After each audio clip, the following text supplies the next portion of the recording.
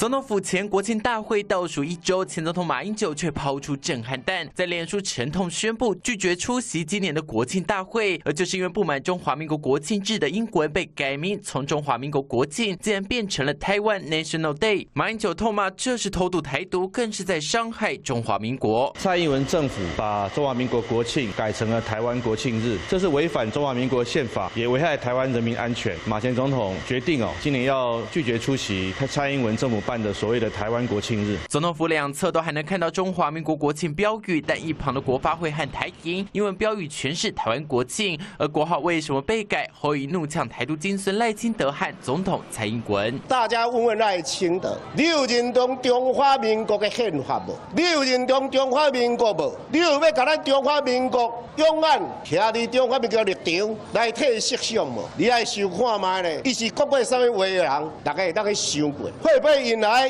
更多更多的两岸的冲突，我们要好好想一想。根据最新媒体民调显示，有百分之四十九的民众不满蔡英文处理两岸关系的方式，有将近百分之八十五的民众认为两岸需要沟通，更认为台独恐怕就是两岸最大变数。而蓝军就痛批，民进党碰到选举年，不管台独是不是会带来战火，竟然在国庆时还要测试对岸底线。台湾 national day，中文来讲，那就是台湾国庆日啊，他这样子来自嗨自爽。台独是会影。讲两岸关系，甚至会带来台海的这个风险，连美国也不支持台独。台独对于两岸还有对区域安全，其实会带来的威胁。中华民国选出了总统领中华民国公堂，但国庆日却要站在台湾国庆的标语下讲话，恐怕是国家最大讽刺。记者谢永卢、徐国豪，S N G 小组台北报道。